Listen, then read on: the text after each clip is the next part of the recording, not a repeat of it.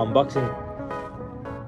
Muy buenos días, bienvenidas y bienvenidos a Let's Bike. Como han visto en algunos videos, sigo actualizando la pistacha. A mediados del año 2021 se lanzó en el mercado el desviador SRAM GX Access, que es un desviador inalámbrico. Y me costó ahorrar por casi un año completo para comprarlo. Y aquí lo tengo.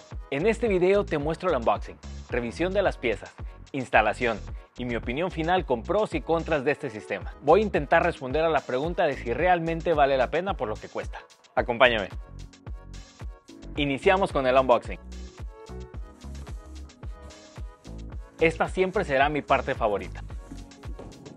La caja es bastante atractiva, muy limpia y elegante. En su interior nos encontramos todo bien organizado.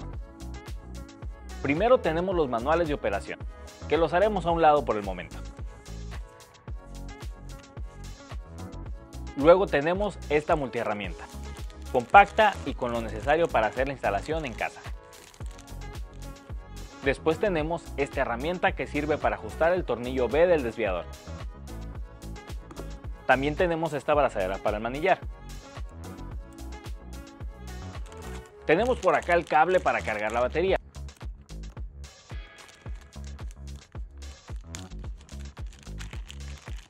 Con entrada USB y salida de tipo micro USB.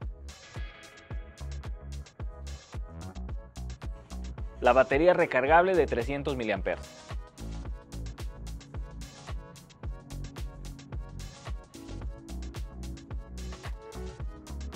Y viene con esta cubierta roja para proteger las terminales cuando no se encuentra en uso.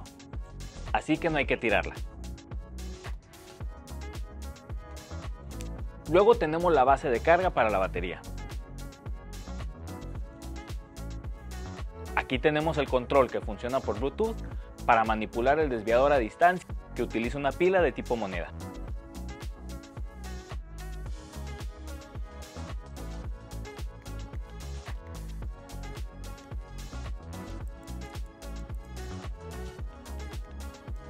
Por último el desviador mismo. Primera vista se ve masivo.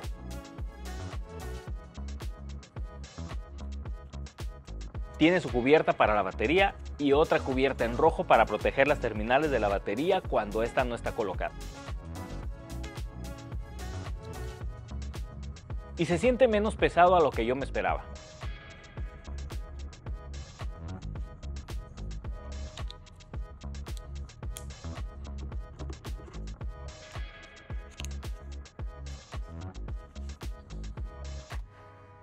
Hemos terminado el unboxing. Pasemos ahora a revisar a mayor detalle cada uno de los componentes. Pondré a cargar primeramente la batería. Una carga completa toma una hora. Y su duración es de 20 horas dependiendo del uso que le demos. El cargador tiene estos tres LEDs indicadores. Rojo indica una falla en la conexión, naranja indica que está cargando y verde que terminó la carga. En este otro punto el LED azul indica que el suministro de corriente es correcto. Y en caso de no ser así, esta luz va a parpadear. Ahora tenemos esta herramienta para realizar el ajuste del tornillo B. Lo malo es que solo funciona con cassettes de Trump Eagle. El control tiene estos dos orificios para acercarlo o alejarlo de los puños. Los botones se sienten bien, nada extraordinario. No se requiere mucho esfuerzo para presionar un botón y la batería le dura un año. Y el desviador está fabricado en acero a diferencia del XX1 de carbono y el X01 de aluminio. La cubierta de la batería es de plástico.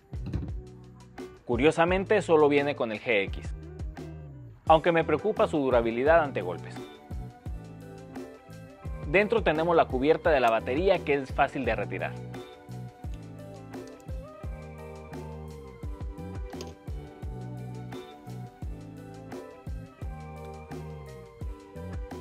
Revisando el clutch se siente bastante firme y a diferencia de Shimano, Schramm se bloquea con este botón.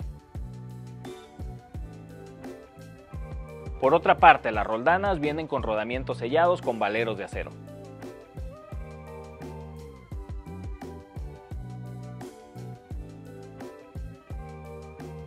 Si lo comparo con otro desviador mecánico de Schramm SX, podemos ver que el tamaño es similar.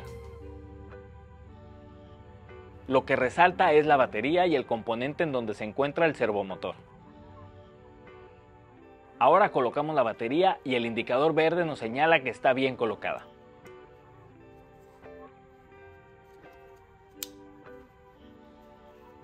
Ahora empatar el control. Es bastante sencillo. Solo mantenemos presionado el botón Access hasta que el LED parpadee. Hacemos lo mismo en el control. Y terminamos de empatar presionando una vez más el botón del desviador. Y como pueden ver el movimiento es fluido y preciso.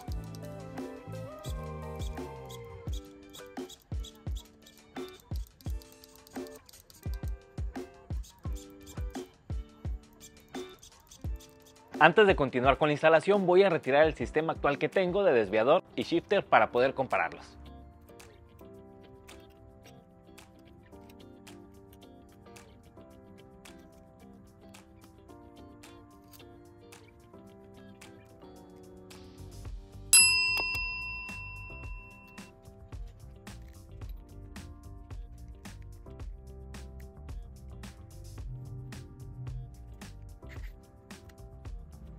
Veamos la diferencia en masa.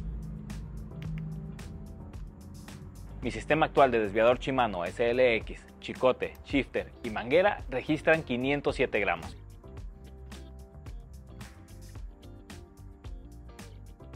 Mientras que el desviador GX Access y el control marcan 546 gramos. Una diferencia de 39 gramos, que realmente los estoy ganando. Y comparando físicamente ambos se ve inmediatamente lo robusto del desviador GX Access.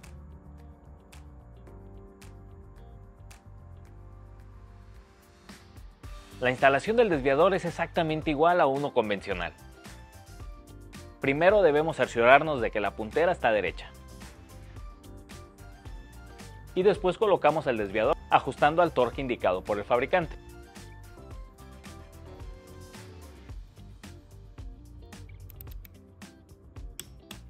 Colocar la cadena es muy sencillo si bloqueamos la pata de cambios.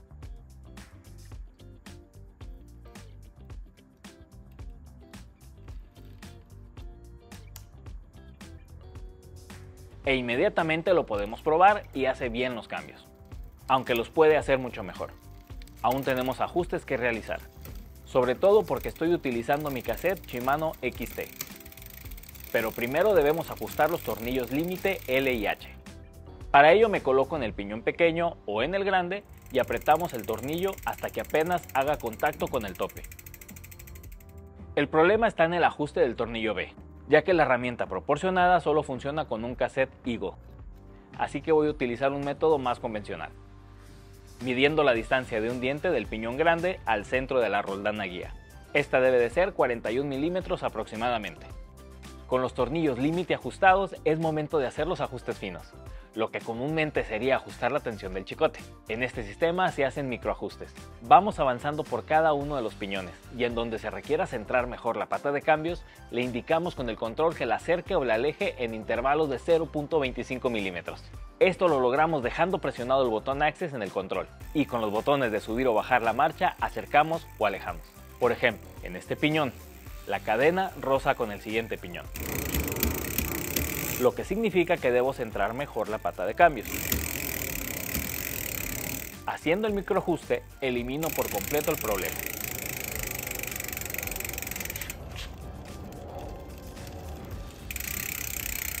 Probamos cada una de las marchas y está perfecto.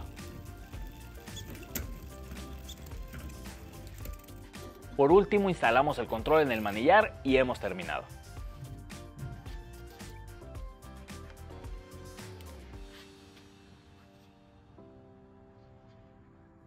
Hoy en día llevo un mes rodando con este desviador.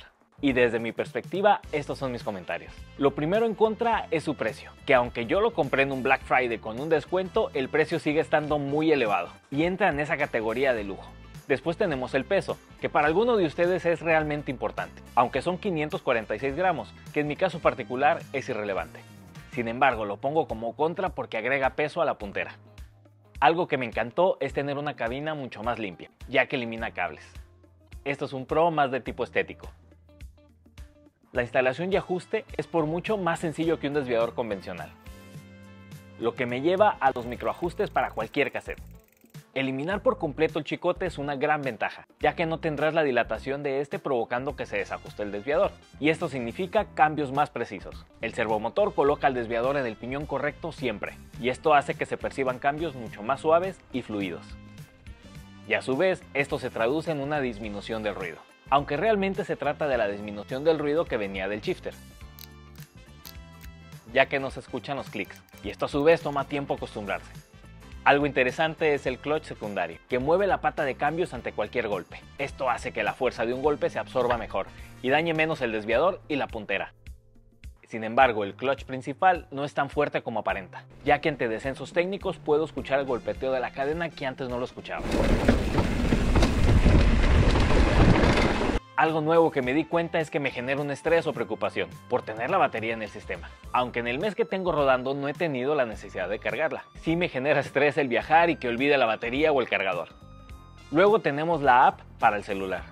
En ella puedes hacer distintas configuraciones, desde indicarle qué hacer cuando dejas presionado el botón, ya sea que suba 1, 2, 3, 4, 5 cambios o todos a la vez o los baje, o tal vez invertir los botones.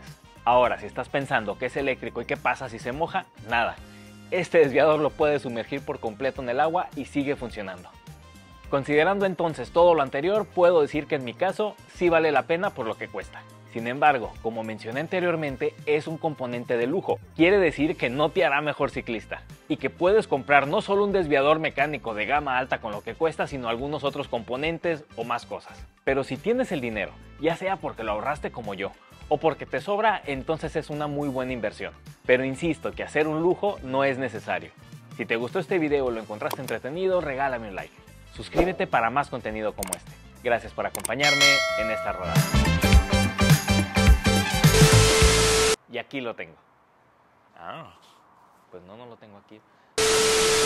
Y aquí lo tengo. Me cansé, no sé por qué.